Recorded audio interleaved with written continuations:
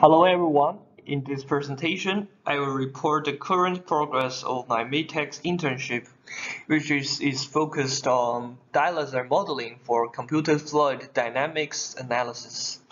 My name is Cheng Jin, and I'm a temporary member of PM3 laboratory, which is supervised by Dr. Sanjay Kharche. And here is an overview of this presentation as this project is related to dialyzers. So firstly, I will give an introduction of the mechanism of its functional components, which is the hollow fiber module. After that, I will show you my current progress from building details to current milestones, which is the visualization. Because this is an ongoing project, so a development roadmap will be given at last. To begin with, in order to conduct a computational fluid dynamic analysis with the dialyzers, we should know the mechanism of them. In general, dialyzers are often used in hemodialysis. It is the most inexpensive and effective therapy to remove toxins from the blood for those who have suffered from kidney diseases. Here is an actual figure of the dialyzer. The goal of this project is to construct an effective mathematical model governing the substance transfer between the dialyzer and the blood by using computational fluid dynamic analysis. So before all the mathematical things happen, we need a dialyzer model for analysis. The very first thing is to build a grid or 3D array for a functional component of the dialyzer which is the hollow fiber module. And this figure is the abstraction of hollow fiber module. Just as I was saying, the red arrow depicts the flow of the blood. Besides, the dialyzer solute passes along the blue arrow direction. For the 3D array formation, what we're interested is in the hollow fiber module. Here is a schematic diagram of the hollow fiber module. From here on, we denoted this outside cylinder with a larger diameter as the term shell, and this inside multiple cylinder-shaped parts as the term tubes. With the data referred from the thesis at the bottom of this slide, we constructed a 3D array whose specifications are shown here. For shell length, it is 270 millimeters. For shell radius, is 20 millimeters. For tube radius, it is 0.2 millimeters. For tube numbers, there are 25.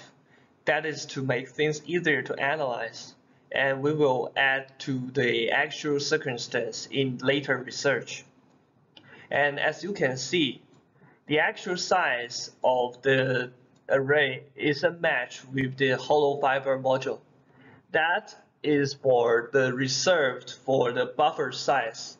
We actually reserved 30 millimeter as so-called buffer size for future modifications. And all the array generation codes are completed in MATLAB languages. As for implementations, the 3D array has 0.2 gaps for all the coordinates. That is to say, the actual array size is 350 by 350 by 1500. For visualizations, there are three possible states for the elements in the array. We number them from states 0, 1, and to 2. State 0 is the elements that are not covered by the shell and state 1 is the elements covered by the shell but outside the tubes. And finally, state 2 is the elements inside the tubes. Just as this figure demonstrates. Subsequently, we convert the .mat file into .vtk file. This is a format that can be read by visualization softwares like ParaView and SimVascular. As for this, we use a third-party library that is called Math2VTK, which can be obtained in the MathWorks File Exchange official website.